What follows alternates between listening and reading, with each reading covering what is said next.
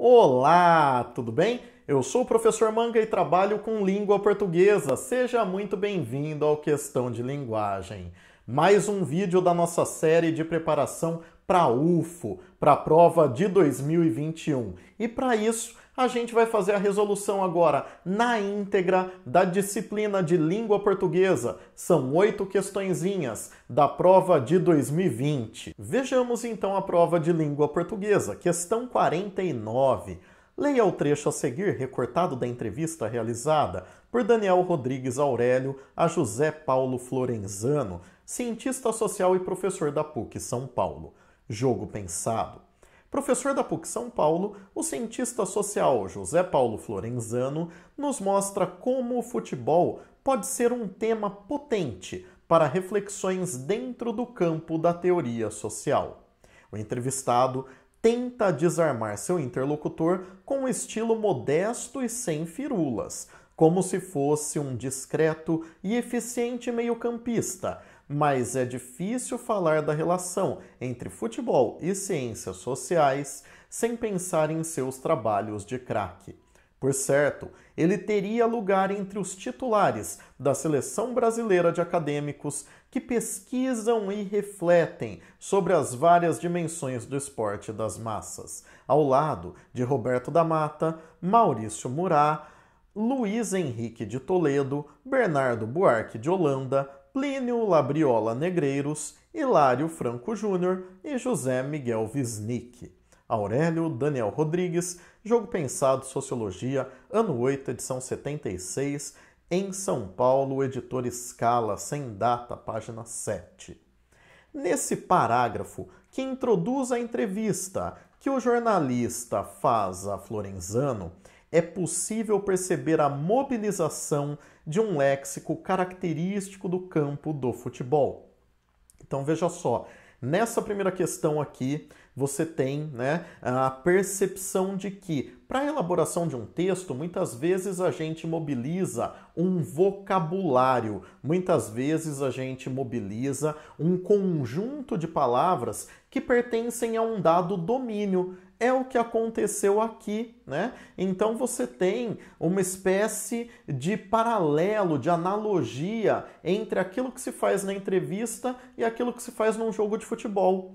E essa analogia, esse paralelo é enriquecido com a escolha de algumas palavras. Então o entrevistado tenta desarmar seu interlocutor. A palavra desarmar é muito empregada em jogos de futebol, né? Quando um jogador de defesa tenta ali tirar a bola do seu oponente, né, que vem na ofensiva. Então o entrevistado tenta desarmar seu interlocutor. De que jeito? Com estilo modesto e sem firulas, como se fosse um discreto e eficiente meio-campista. Mas não, ele não é, ele é um craque. Né? O entrevistado, o professor da PUC São Paulo, o José Paulo Florenzano, é um craque nesse trabalho de aproximar o futebol às ciências sociais. É isso que está querendo dizer aqui o Daniel Rodrigues por meio dessa mobilização de um léxico, de um vocabulário característico do futebol.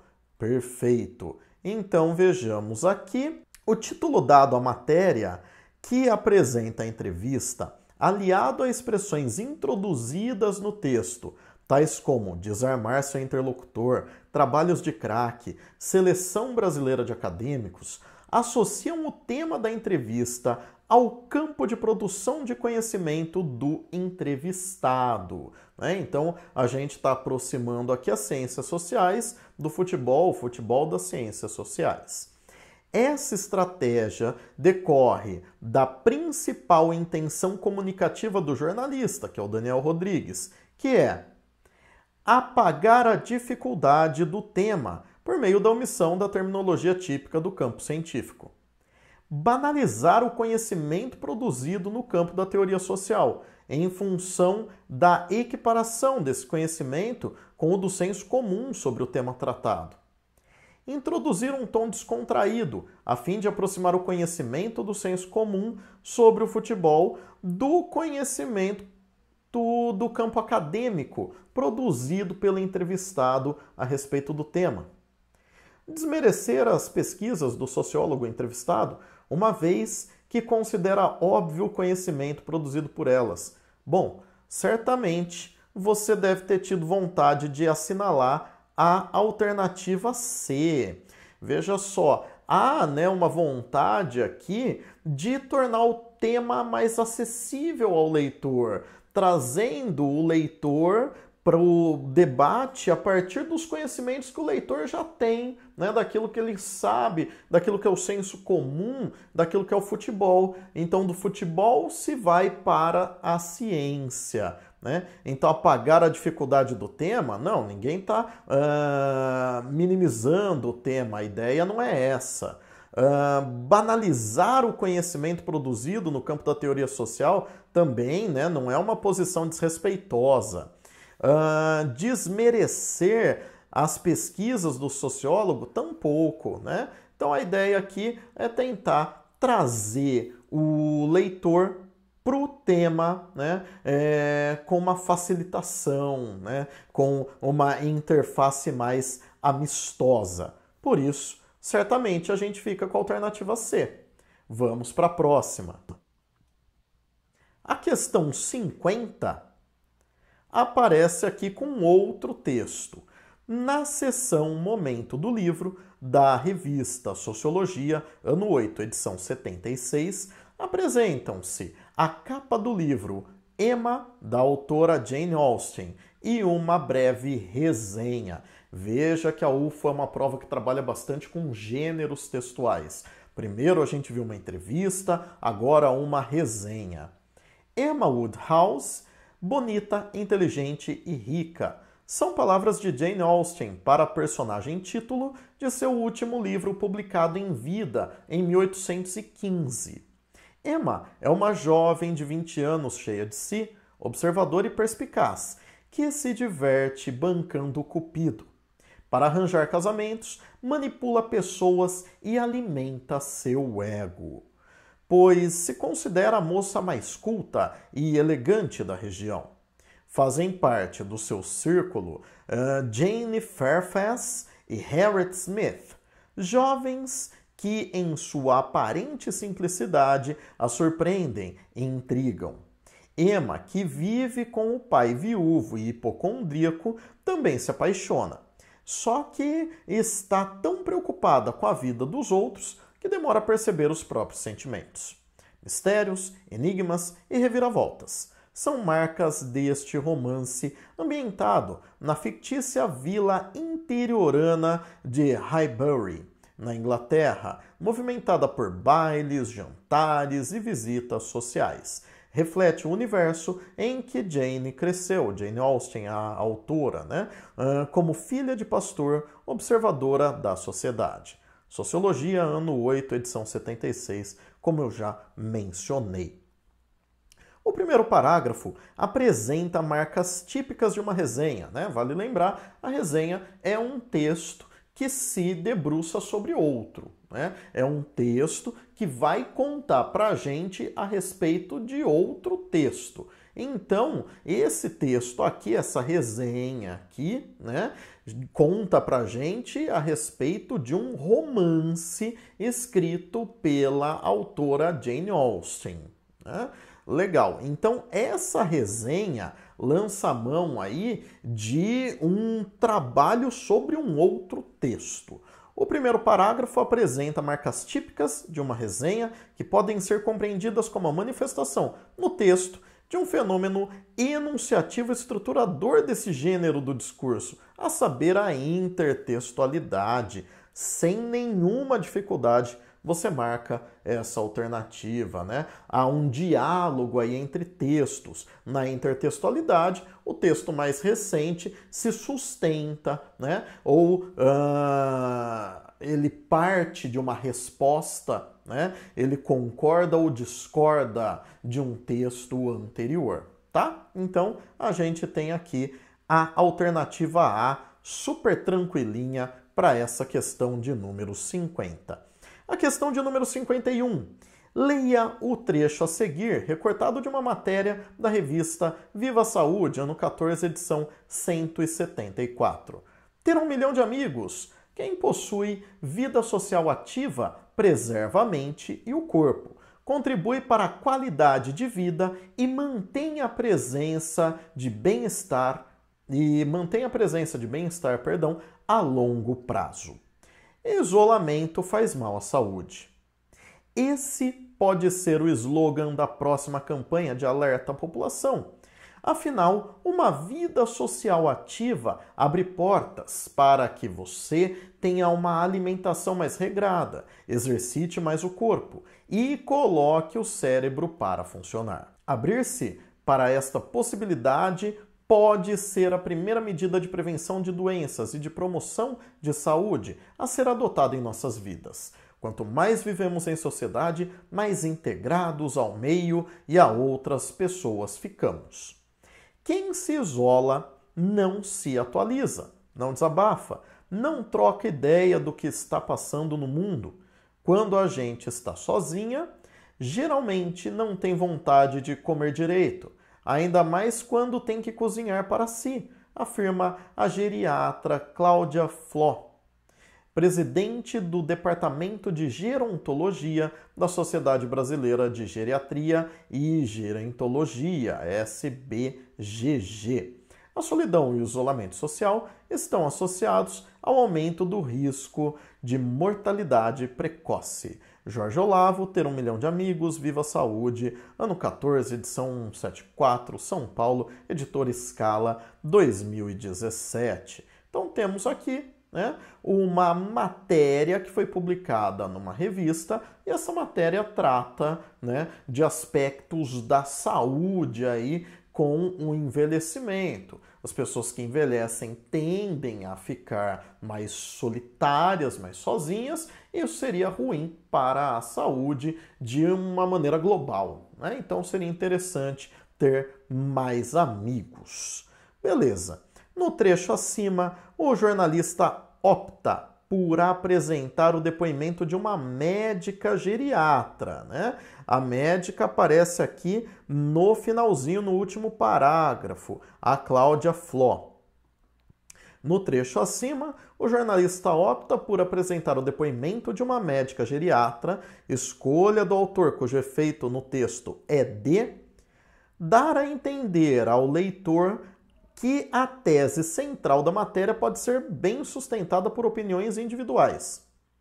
Sustentar a tese central da matéria, de que não desabafar e comer mal faz mal à saúde, com base na opinião de uma mulher.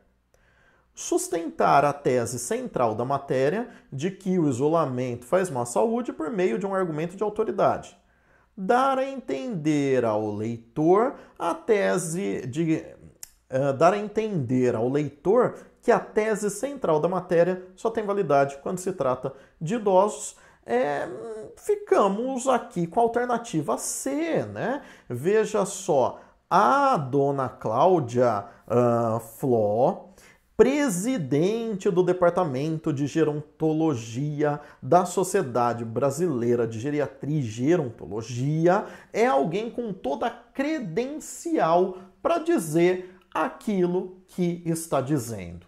Né? É isso que a gente costuma chamar de argumento de autoridade. Então veja só, quando eu quero dizer alguma coisa num texto, é normal que eu lance mão de alguém que tem um capital simbólico maior para sustentar aquilo que eu estou dizendo.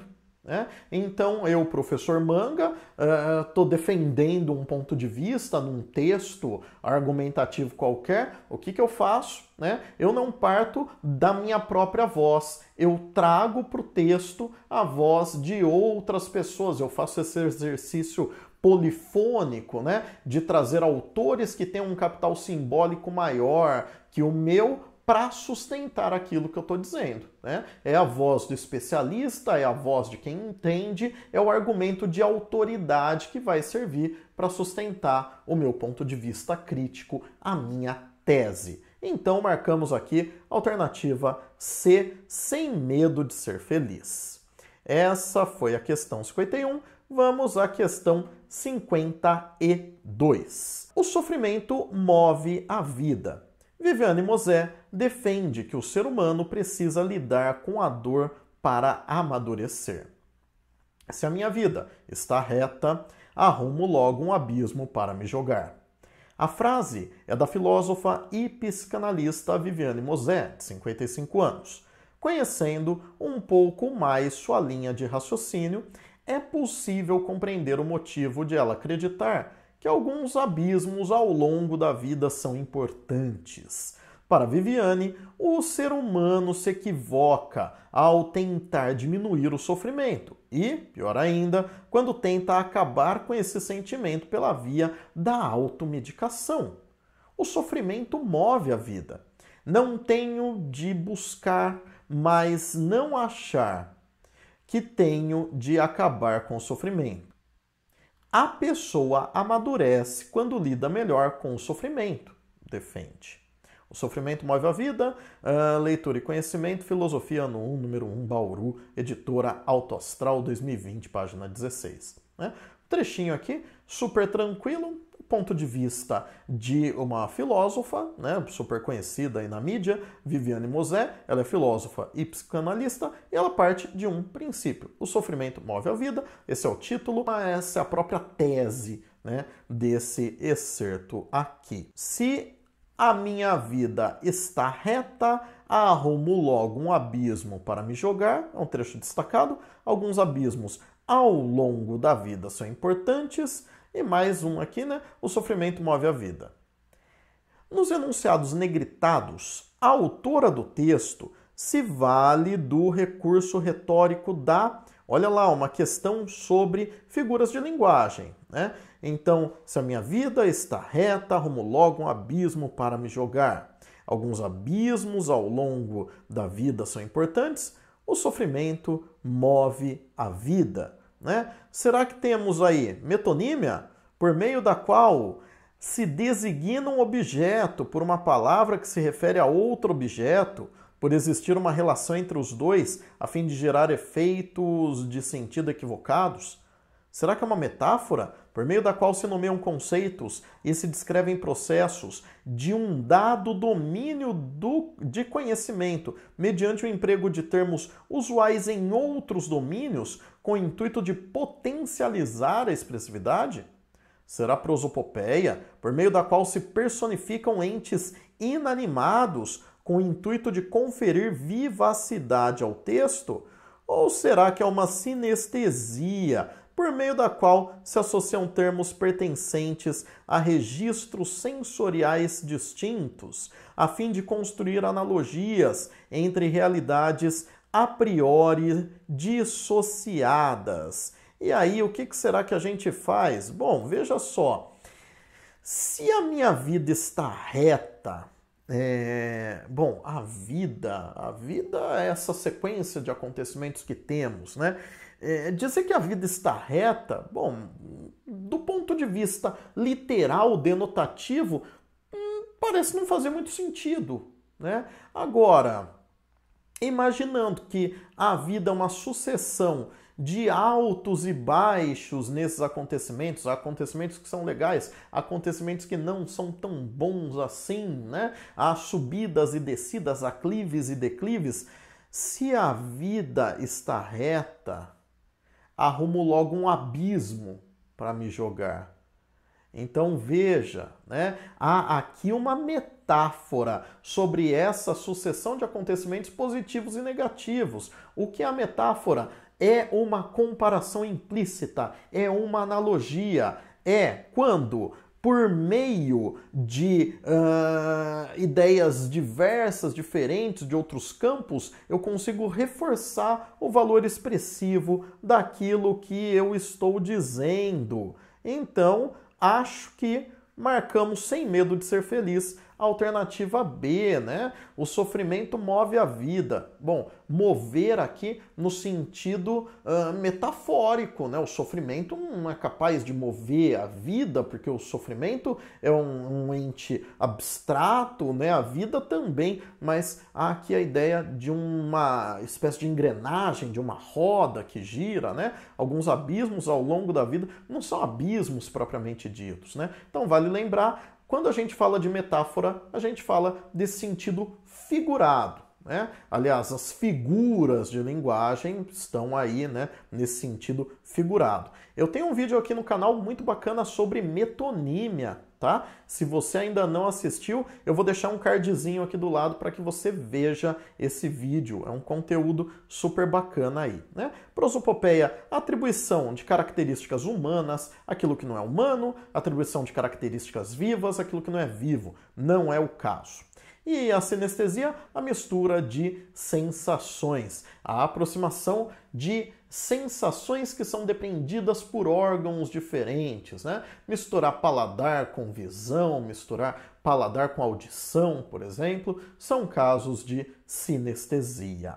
Uh, legal. Vamos seguindo agora para a questão de número 53. Leia o texto a seguir, que compõe o box de uma matéria da revista Viva Saúde, ano 14, edição 173. Alivie a pressão da rotina. Veja como conhecer melhor o seu corpo e saiba como começar a relaxar. Respeite os sinais físicos e da mente que apontam para a hora de parar. De não se submeter a uma sobrecarga de trabalho, sobretudo quando essa sobrecarga é prolongada. Entenda que submeter-se a um esforço concentrado de trabalho é completamente diferente de expor-se a um esforço de vários dias e até sem prazo para terminar. Trabalhe a ansiedade por meio da psicoterapia, exercícios físicos e alimentação saudável. Tenha uma rotina. Lembre-se de que é necessário ter tempo para o lazer. Né? Então, alivie a pressão da rotina. Uh, Navas Daniel, Daniel Navas, livre-se da exaustão no trabalho. Viva a Saúde, ano 14, edição 73, como já mencionei. Na matéria, o texto do box cumpre predominantemente a função de. Esse texto aqui, né, que aparece tá? Uh, dentro de uma matéria maior. Né? Uh, informar ao leitor o que a ciência tem descoberto a respeito do estresse, visto que o enunciado trabalha a ansiedade por meio da psicoterapia, exercícios físicos e alimentação saudável, é um forte indício que permite identificar essa função como predominante. Esse texto aqui é informativo, né? Ou será uh, que se trata de uma orientação, né? Orientar o leitor a como minimizar o estresse do dia a dia, visto que os verbos no imperativo e a estrutura da enumeração de itens são marcas linguísticas que permitem identificar essa função como predominante. Olha que interessante! Eu não sei se você reparou, mas a palavra função aqui aparece mais de uma vez, né? A gente está falando aqui certamente das funções da linguagem de um sujeito chamado Roman Jacobson. Mais uma vez, desculpe a autopromoção alto jabá, mas tem um videozinho aqui no canal sobre as funções da linguagem, uma aula teórica muito boa. Uh principalmente em se tratando de Enem, tá? Esse tema costuma aparecer muito no Enem, mas costuma aparecer também em outras provas aqui, como a UFO, né? Então, eu vou deixar um cardzinho aqui para vocês. De qualquer forma, sim, é verdade que essa é a função conativa, né? Por quê? Porque aparecem verbos aqui no imperativo, né? Então, respeite, os sinais físicos, entenda, trabalhe. tenha. E lembre-se, são verbos que se dirigem ao interlocutor. Né? O foco desse texto aqui, o direcionamento que ele tem é, sobretudo, ao interlocutor, né? sempre no sentido argumentativo de que né, você precisa reduzir a pressão sobre si próprio. Tá? Então, esse é um texto em que você tem predomínio da função conativa ou persuasiva da linguagem. É, muito cuidado com a alternativa D de dado, tá? Olha lá, então não é um texto informativo, né? essa seria a função referencial, não é o caso, uh, não é um texto argumentativo, né? não é o caso também. Alternativa D, motivar o leitor a não trabalhar excessivamente, visto que o enunciado tem uma rotina. É uma marca que permite identificar essa função como predominante? É, não, há uma, uma ligeira contradição aqui, né, nesse enunciado. Então, me parece que a letra B né, traz para gente aí, veja que interessante, sem falar o, da teoria, né? sem falar do Roman Jacobson, sem falar das funções da linguagem, embora apareça a palavra função, não tem o nome da função conativa, apelativa, persuasiva, né? Essa prova, como eu já comentei no vídeo anterior, uh, trabalha bastante com o conhecimento do aluno. Essa prova traz cobranças não enciclopédicas, não de decoreba, né? mas um, um, um, aluno que tem bastante solidez aí na teoria consegue deslanchar nessas questões. Legal, vamos seguindo. Questão 54. Leia o texto a seguir, que compõe um box da matéria Cidadania e Protagonismo, publicada na revista Conhecimento Prático Língua Portuguesa e Literatura, ano 8, edição 80. Essa questão aqui eu já resolvi com bastante carinho no último vídeo, tá? Por isso eu vou acelerar um pouco e vou me furtar a leitura do texto, tá? Vou direto aqui para o enunciado. Se você não viu o vídeo, eu estou montando uma playlist né, uh, sobre a prova da UFO, tá? Esse vídeo vai estar tá na playlist também.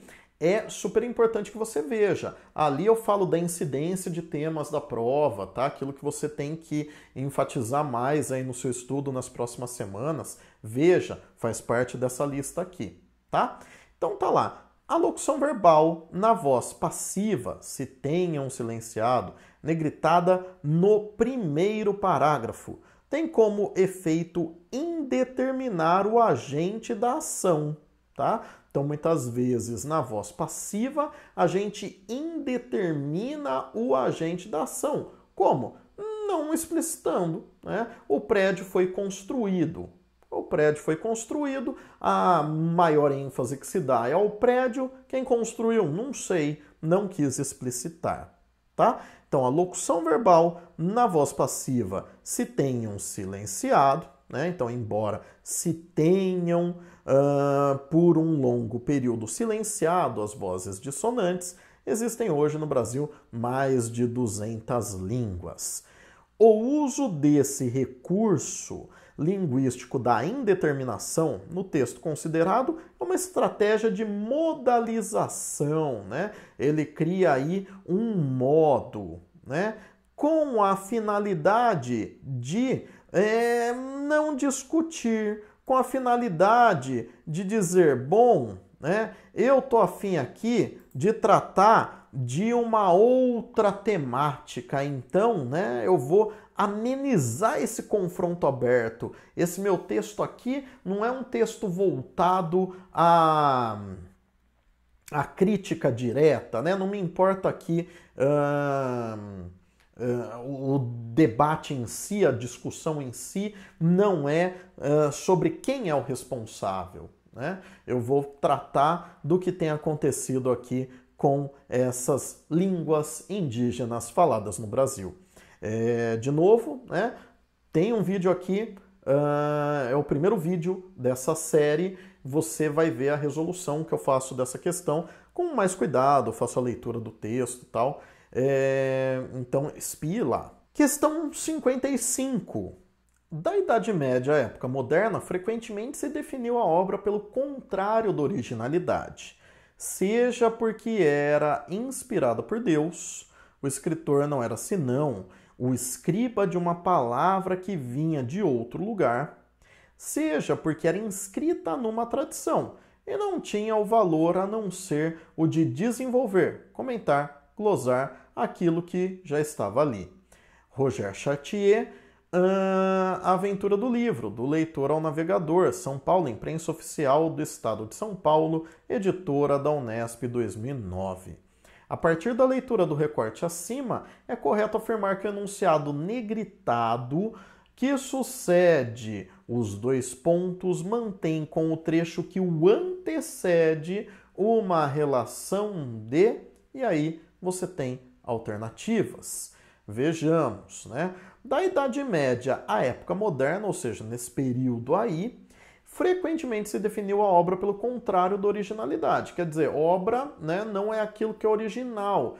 A ideia de um autor que saca as coisas da sua própria imaginação, que tem um gênio criativo, é uma ideia bastante recente, né? uma ideia uh, que data do romantismo. Antes disso, o bom autor né, era aquele que ou se inseria numa tradição e, portanto, era uma espécie de comentador daquilo que já se escreveu, ou era um sujeito que era um instrumento nas mãos de Deus. Né? É disso que o Chartier está falando aqui. Então, seja porque era inspirada por Deus e, consequentemente, o escritor não era senão escriba de uma palavra, né? palavra aí com letra maiúscula, que vinha de outro lugar. Né? Então, se havia inspiração de Deus, a consequência disso era o escritor não passar de um escriba. Alternativa A. Muito legal, hein? Uma questãozinha aqui que cobra sua capacidade de leitura, então, né? E a capacidade de preencher esse espaço aí, esses dois pontos aí, com uma locução, né? É, do tipo, seja porque era inspirada por Deus e em consequência dessa inspiração, o escritor não era senão escriba. Perfeitinho, alternativa A. Vamos para a última questão da prova, né? A questão de número 56, que é uma questão que eu já resolvi lá naquele primeiro vídeo. Por isso, né, eu vou me furtar aqui da leitura do texto de novo. Eu só vou uh, observar ali o trecho negritado, destacado, né? sem deixar de lado a humanização e o olhar ao paciente, a instituição utiliza a tecnologia para o aprendizado, tá? Então, né, é, a instituição usa a tecnologia para o aprendizado, tá? Só que o normal, o esperado seria deixar de lado a humanização e o olhar do paciente. Só que essa instituição não faz isso.